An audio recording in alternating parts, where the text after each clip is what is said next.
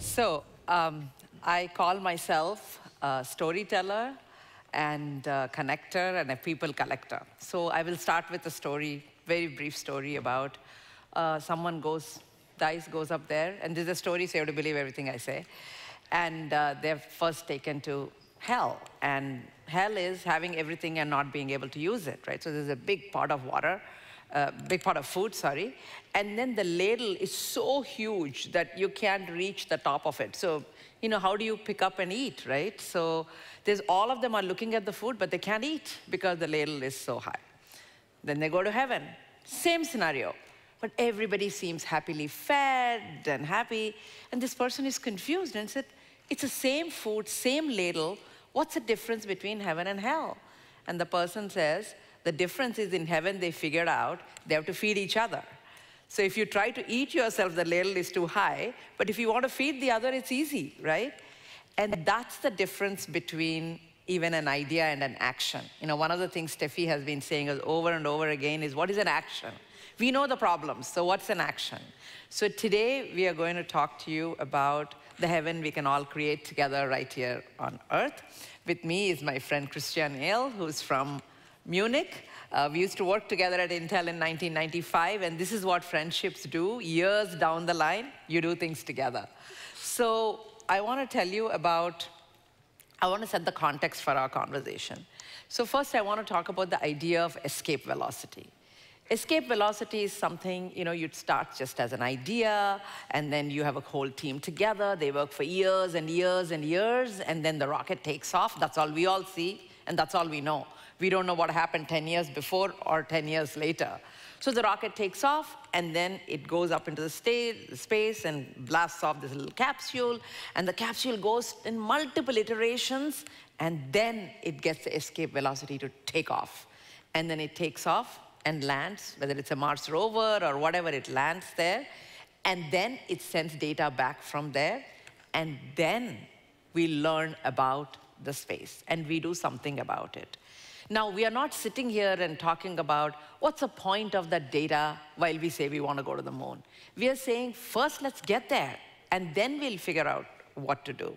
So it's the same attitude we need to have about solving huge problems. So the problem we are here to talk about is a sustainable de development goal, especially about water. And how do we get clean water to everybody?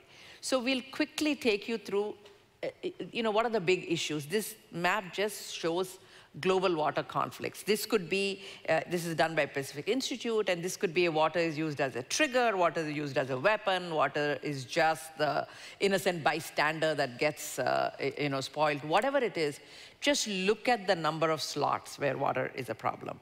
And we also want to say the conflicts of the future are going to be about water. We all know this. And in India alone, we have 600 million people who don't have clean water. And by 2005, the lack of available water is low, and in many big cities, 2021, we are already out of groundwater. So these are the stark realities.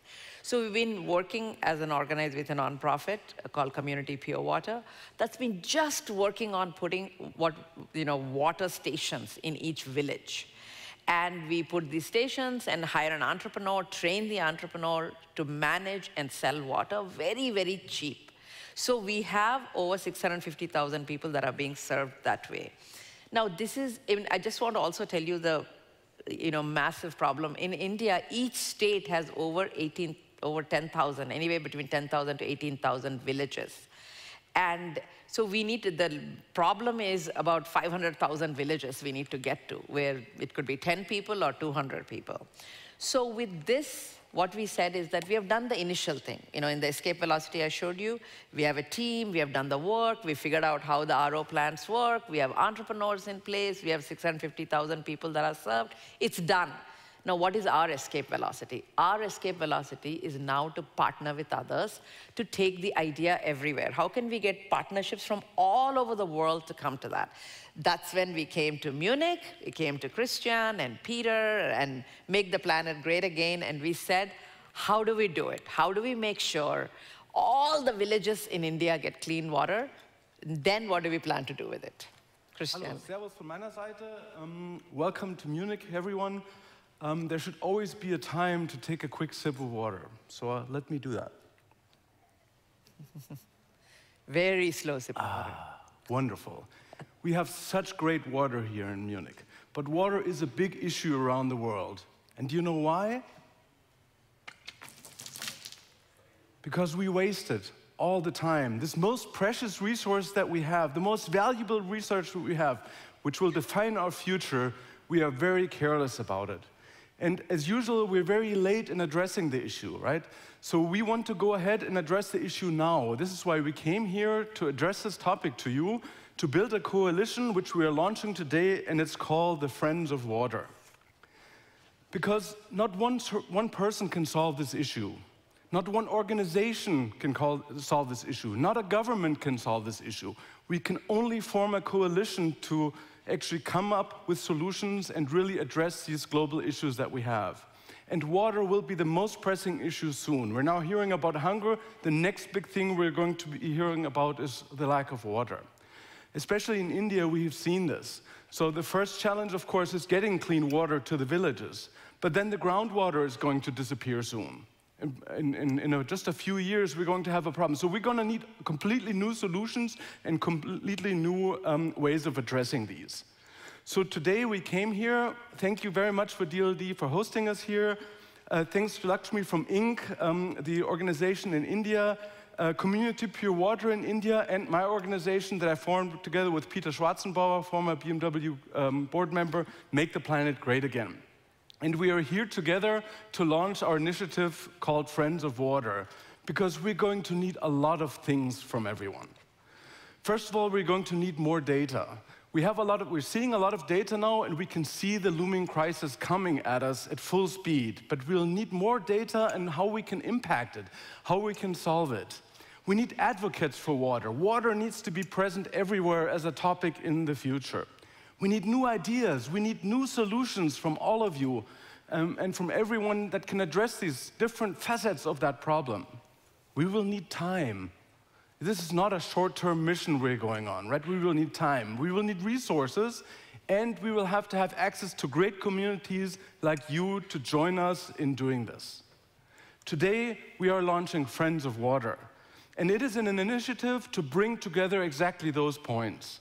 So we're collecting the data, we're looking at the solutions out there, we're bringing together the communities, and we want to work together with you to address this issue of um, clean water. So what you can do is you can take a QR code here or visit friendsofwater.club and tell us how you can contribute, where you're interested in, and we'll reach out to you to work on this because this is an issue which is becoming very present and we must solve it now and we can only solve it together. So I'm really happy, Lakshmi, yeah. to be here on stage with you. And thank you for Steffi for giving us the stage. So because we wanted to talk to you, among you are ideas, among you are volunteering time, etc., etc. So I want to just end by saying that a lot of times we feel like just a little drop in the ocean.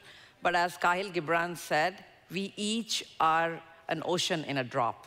And we would like all of us to come together to solve this problem. Thank you. Thank you so much.